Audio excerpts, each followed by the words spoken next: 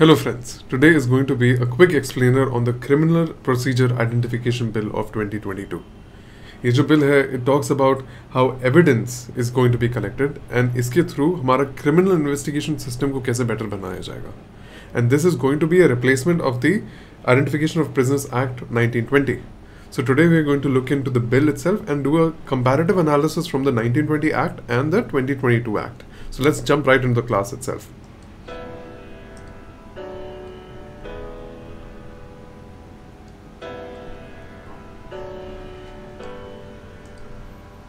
Now, the Criminal Procedure Identification Bill seeks to collect what it terms as measurements from certain classes of persons and further allows for processing, storage, prevention, dissemination, and destruction of this with the stated aim that it's going to create a much better environment for investigation in criminal matters and prevention of crimes. इसका जो precursor है वो आता है हमारा the 198th report 198th report और law commission report of 1980 as well as the Justice Malimat Malimat Committee. Now, both these spoke about how we need to enhance the evidence collection system because the 1920 Act itself came so far back and there have been so many advancement in technologies that we need to take advantage of this in the current day day and era right so let's do a quick comparative analysis of the Prisoners Act with the Criminal Procedure Identification Bill of 2022. The first provision that we're going to look into is what can be collected under the bill. अब ये जो Prisoners Act 1920 आया था उस time पे we had technology sustainable enough for us to collect only fingerprints, footprints and photographs. Because 1920 का bill है we didn't have any sort of digital or forensic advancements. Now, compare it to what we have now, especially with the involve with the creation of UIDAI, the iris scanning as well as DNA profiling, we can go ahead and take iris and retina scans. On top of that, we can take biological samples, physical samples, and behavioral attributes. Behavioral attributes will include signatures, handwriting, as well as other things about the person himself, which can be deciphered from an expert from a behavioral analyst and all of this is can be collected with reference to section 53 and 53a of the CRPC. अब जो biological sample collection है वो under the section 53a uh, 53 talks about how blood, blood stains, semen, swabs and and sputum, sweat, hair samples, fingernail clippings, everything that can be taken with the use of modern scientific techniques including DNA profiling. and section 53a ये कहता है कि you can also take the name age as well as any bodily marks or injuries that the person has so with the section 53a what the criminal uh, criminal procedure uh, uh, identification bill does is it expands the type of samples that can be collected it expands the type of samples being collected now this itself is a really good thing this way, a person can be not only profiled but identified as, as well from scenes of investigation, scenes of crime, right? But the there's there's a certain problem. There's a certain giveaway that happens when we look at who may be compelled to provide these measurements. Now, in the previous act, the 1920 Act, in the 1920 Act, it said that a person who is convicted or arrested for offences punishable for rigorous imprisonment of one year or more so the conviction back then for collection of such evidences was with the bar of one year or more. Uh, they had to be convicted for one arrested or convicted for one year or more. एक साल के से ज़्यादा के punishment के लिए एक साल या एक साल से ज़्यादा के पनिशमेंट के लिए तभी ये एविडेंस कलेक्ट किया जा सकता था बट अब with the criminal procedure identification bill any person who has been convicted of any offense can can be compelled to provide measurements इससे क्या हो रहा है? इससे ये हो रहा है कि अगर आप कल रैश ड्राइविंग कर रहे हो और आपको रैश ड्राइविंग करते हुए पकड़ा गया है, जिसका imprisonment is the maximum imprisonment for that is six months उस केस में भी the the authority who's authorise to collect samples can compel you to give your measurements even in that case where the measurement is if you done some financial fraud और any अगर चोरी हुई है छोटी सी, या फिर कोई फाइनेंशियल मिसहैप्स हुए हैं जिनमें कोई भी इम्प्रिजमेंट या कोई भी पनिशमेंट की कोई भी punishment can be given under the scope of law even that person can be compelled to give their measurements ठीक है एंड याद रखना मेजरमेंट्स के अंदर ये सब कुछ आता है। It from the samples we saw be it retina scan fingerprints everything to biological samples but biological samples does have a bar which will talk about further now in the 1920 act it says the person who has been ordered to give security for good behavior and for maintaining peace now this same clause is also available in our uh, the 2022 act which says that a person has to give who has been ordered to give security for maintaining peace and good behavior under section 117 of the CRPC ये जो security और good behavior है ये क्या होता है when a person when a person is known to cause certain problems उनसे surety ली जाती है and these problems are mention under article under section hundred and seven to hundred ten of the CrPC these reason which which are covered under section hundred and seven hundred ten are first that this person may be likely to breach the peace और disturb the public tranquillity of an area this person might be doing some seditious work और is trying to publish something seditious about the state they can also be concealing their own identity to commit such to commit a cognizable offense now we've already spoken what cognizable and non-cognizable offenses are in our previous video. So if you haven't, if you have any doubts regarding what a cognizable offense is, please refer to that video. You'll you'll have a clear understanding of it. And then finally, the person who is a habitual offender, a person who is an habitual offender. For all these four things, the magistrate can go ahead and ask for security for good behaviour that ये सारी चीज़ें ये person repeat ना करें under section hundred and seventeen उन लोगों से भी सैंपल कलेक्ट किया जा सकता है। ये प्रोविज़न हमारे 1920 एक्ट में भी था। ये प्रोविज़न अब और एनहेंस्ड हो गया है in our 2022 act and then finally it says that the magistrate may order the magistrate may order in other cases collection from any arrested person any arrested person to aid criminal investigation which says that for example if a criminal is investigation going is going on किसी particular crime के लिए उसका investigation चल रहा है अगर इस investigation के लिए किसी और का डीएनए सैंपल चाहिए या किसी और का कोई मेज़रमेंट चाहिए वो that can be collected only from an arrested person a person who has been arrested before और a person who has been arrested now but this provision is again expanded thoroughly by giving magistrate the direction that they can compel any person to give measurements upon being satisfied that it is expedient to do so for the purpose of investigation and for proceeding under CRPC or any other law. तो आप देख सकते हैं with the provision that a person who's being arrested under any offense and the the fact that the magistrate can direct any person for helping with a particular uh, for a particular investigation can compel someone to give their measurements so this, the scope of the criminal identification bill 2022 has been thoroughly expanded. बहुत ज़्यादा expand कर दिया गया है कि किन किन से ये सैंपल कलेक्ट किया जा सकता है।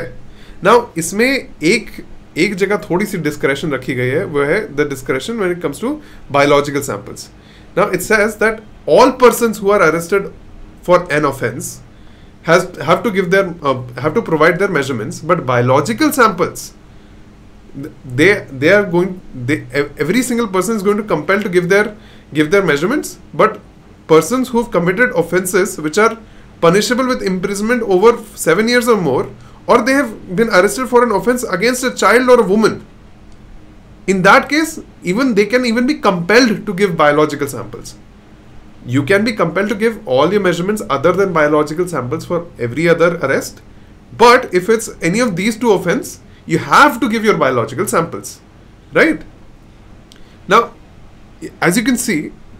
we already are able to understand that 1920 act it it was behind when it came to technology, but the 2022 act not only has enhanced the part of technology but has also expanded the scope to see to to include every single person who's being arrested of an offense to for their data to be collected now the person who may require a direct collection of data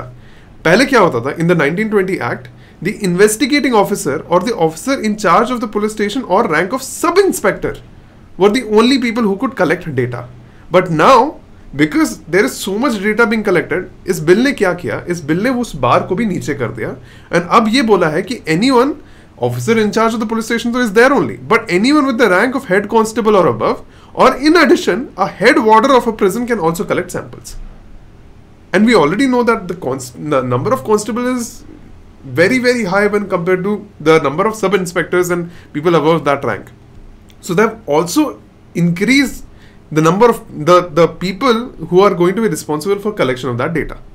Okay? And we'll see what sort of problem that might cause when we talk about the problems that this bill might have. And then again, they have diluted the measure of it previously being directed by a magistrate. Now it can be directed by a metropolitan magistrate or a judicial magistrate of first class. And in case of a person required to maintain good behavior or peace, as we saw in section 117 of CRPC, uh, it, it can be an exe- executive magistrate as well. So the scope of the law has not only been expanded to use more technology, but it has been expanded to use more uh, to collect data from more people, as well as the people who are going to collect the data itself. The scope of them also has been expanded, right? Now, where is this collected data being recorded, and who is going to record it? It is going to be recorded by the NCRB or the National Crime Records Bureau. National Crime Records Bureau is going to maintain a digital and electronic uh, uh, a digital and electronic database of these measurements and they are going to be the person who is going to be the nodal agency for distributing all these information throughout central and state agencies and this distribution is going to be uh, it's going to be carried out through the criminal uh, crime and criminal tracking network system CCTNS अब इससे क्या पता चल रहा है हमको हम, हमको ये पता चल रहा है कि ये जो सैंपल आपसे कलेक्ट किया जाएगा this is going to be this is going to be launched into a national national nationwide grid this information is going to be available in every single police station who is part of the cctns right and then the state governments can notify agencies for collection storage and sharing of the measurements themselves so the state governments can notify agency, agencies to store the measurements itself, not the record. What what have you understood from those measurements, but the measurements itself. So for for this इसका मतलब क्या है कि आपका जो measurement लिया गया है आपका जो blood sample लिया गया है इसी को शेयर कर, कर सकते हैं state governments they don't have to they not only going to share the data from the blood sample but they can share the blood sample itself right and obviously this is going to be stored digitally and electronically so you can see that not only the scope has expanded, but also how this data is going to be stored and shared has also been expanded. Right? So techno- the use of technology is not in not only in collection of evidence, but also in disseminating this information throughout the na- na- national and state grids. Right? Then the law says that the data collected will be retained in a digital and electronic format for 75 years. For 75 years, which is basically your lifetime. So the data that has been collected is going to be stored for 75 years and it also says that if a person has been acquitted after after all the trials and everything they have been released without a trial or have been acquitted even in that case like even even though your data should be dis- destroyed technically if you have been acc- acquitted of your crime after all your trials are over even in that, that case the court or the magistrate may direct the retention of such a data for after recording reasons in writing which means chances are अगर आपका case हो जाने के बाद भी आपके data को database में रखा जा सकता है now in in case where you don't want to give this measurement in a case where you don't feel compelled to give this measurement the a, any any uh, any lawful uh, police or prison officer can compel you to give this measurement under the rules that have been made and if you refuse to give such a measurement after they are asking you to give such measurement this refusal is punishable offense under section 186 of the Indian Penal Code. So not only has the scope of the law being expanded, not only from where the data has been can be collected has been expanded and the storage has been expanded, but also a person cannot a person cannot readily refuse to give their own data, right? Because it is going to be pun- a punishable offense. अब देखिए इसके you can see that the implication of an act like this is going to be immense. If if I talk about constitutionally, the reason why I'm why we're not going to have an in-depth discussion on the constitutional provisions that this bill violates is because ये हमारे honourable supreme court का काम है when this law comes to the scrutiny of the Supreme Court, the Supreme Court is going to decide if it's it's violating certain constitutional provisions or not. But I can tell you right now that certain provisions like Article 14, which talks about equality, ये जो police officers और warden officers को जो एक arbitrary power दे दे दी गई है कि you can go ahead and collect samples from everyone so the discretion has been given on them कि वो कब कलेक्ट कर रहे हैं, किससे कलेक्ट कर रहे हैं, कैसे कलेक्ट कर रहे हैं goes against equality the right to equality in fact the fact that हमने देखा है कि क्रिमिनल प्रोसीजर आइडेंटिफिकेशन बिल में they've also spoken about behavioural evidence collecting behavioral evidences. Even in that case in the in, in our previous video of uh, right to privacy we saw that Selvi versus Karnataka case mein you cannot do brain map- mapping or narco analysis and things like that because that goes again the, goes against a person's own liberty. If a person does not want to self incriminate themselves then taking such samples might lead to incrimination right? So this goes against article 20 subclause 3 and then finally we have right to privacy if you go ahead and collect the data of every single person, store the data for 75 years, and also cannot give, don't give a provision where a person can refuse giving consent for such a collection, then it is probably going to be violative of Article uh, 21 and right to privacy. So ये सारी चीजें आएंगी, but this is going to be decided by our honorable Supreme Court. What you and I can look at is the are the other problems that the the bill is going to face. So the bill is probably going to face a lot of challenges when it comes to science and regulation. Because, see, evidence collection is not only about the person, but also about the technology being employed. So, if you look at the scientific and validate, scientific validity and databasing, you will understand that there are no scientific evidences to support certain fun, foundational validity of certain type of measurements. Measurements like what? Measurements like handwriting, hand, handwriting recognition. अब इसके पीछे जो science है वो इतना solid नहीं है footprint recognition इसके पीछे का भी science is a little dwindling it's it's at a very nascent stage voice voice analysis voice over analysis even iris and data scans U K case में when you I D I was was taken to the Supreme Court. In that, in those UIDI cases, UIDI themselves admitted that the failure rate of iris scans is about 8.54%. So they themselves the iris scan itself is not an absolute measure so there are a lot of such measurements which do not have scientific validity themselves. And yet these measurements are being taken. Now, India currently also lacks adequate scientific standards for examination of such measurements for purpose of investigation. For example, agar koi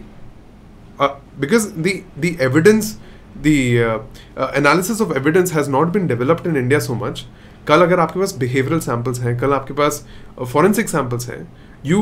we don't have the technology right now to forensically analyse behavioural pattern body language pattern और pattern in your handwriting changes in your hormones और blood sample change blood composition changes how this the blood is being transported how the blood is being stored how this what is the compromise when it comes to storing such live blood samples things like that have not been developed in India to a level where they can be used for criminal investigation purposes. This is a good step towards it, but we are not at a position where इतना सारा जो sample collect हो रहा है उसका जो standardization होगा हम वहाँ तक पहुँचे नहीं है अभी तक, right? The next measure is collection of measurements. Now, you have certainly allowed people at the head constable level and warder level to go ahead and collect samples. अब इनकी जो capacity building करनी पड़ेगी it's a huge uh, administrative task. These people are not equipped towards collecting evidences, that too, such broad evidences. So, there is going to be a big differentiation in the type of quality of evidence being collected. A person might be very good at evidence collection, another person might be bad at it. But that that evidence is still, still being collected and put into the database the same way. So, there is and Upar say there is no in, there's the bill does not talk about infrastructure development when it comes to laboratories so where will these this huge number of pro, data being processed उसके लिए where are we don't have enough scientific और forensic laboratories जहाँ पे ये किया जाएगा neither do do we have a provision for standardisation and quality management of the data being collected because you have to train so many constables you have to train so many water level people to go ahead and do collection uh, sample collection तो इसमें एक बहुत बड़ी disparity आ जाएगी between by the type of measurement that is being used and because of that because of this disparity collection and storage of biological samples and their analysis becomes difficult if an evidence collected is not of the same quality that might hamper the criminal investigation rather than uh, rather than support it Like, for example, information collected and stored may go beyond the individual from whom the measurement is being collected. Now, in the previous case, there was no quality standard of the like collection in collection of measurements. There is no quality standard. Now, in when you're collecting such data, especially when you're collecting genetic data, you're not only collecting the data of that person, but you're also collecting and you're ending up collecting a profile of the whole family structure. For example, there might be some genetic diseases this person is suffering from right which might run across the whole family now here you're not only uh, giving data of the person himself but the, you're ended up ending up giving the data of the whole family. So this the scope itself goes beyond. So we don't have measurement standards and at the same time the scope goes beyond just the person who's arrested right? And then the storage of these biological samples is not going to be easy. If a warden level person is collecting a data and uh, collecting a sample and if this person is not able to store the data properly that itself is going to hamper the whole investigation right and storage of such huge number of data in every single police station is also not uh, feasible. Or we don't have the technology to do that. Right? So we can see that the the the whole bill is a very tall order. You've increased the number of samples being collected. You've increased the number of people who are collecting samples yet we don't have a standardization system. And finally it talks about the storage of record of measurements. Now, criminal investigations are undertaken with respect to context of a particular case, which means that every single case might not require you to take blood samples. Every single uh, case might not require you to take saliva samples, might not require you to take fingerprints. But yet, if you're collecting so many samples and so many data, you're expanding the scope of the scale, scale, scope and scale of the investigation itself, which might hamper the investigation. ऊपर से we don't even have like we spoke पहले we don't have such expertise when it comes to handling such data so all in all you've created a huge database that might not readily help in criminal investigation and at the same time by expanding the scope of the bill so much you've reached a stage where chances are that this might not only hamper criminal investigation itself but might also go beyond certain provisions that are available in the constitution but this is it. This is the bill. The bill has become a law. And now it's up to the Supreme Court and it's up to the government how they are going to create supporting systems for this bill to actually work out.